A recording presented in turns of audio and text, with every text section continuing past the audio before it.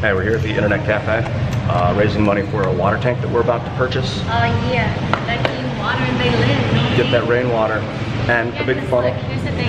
We get to go home and we get to take a shower and clean off all the trash. But yeah, they don't get to. They clean in the water and it's contaminated with poop and pee. So they don't even get to clean. So But it rains every day. Well, it's been raining yesterday and today, so we get a big funnel on top of this giant water filter, I'll put a picture of it. Uh, you know what we're talking about. and you'll be able to have clean water for food, drinking. Yeah, Not only washing their face, whatever. So we need three, 300 bucks?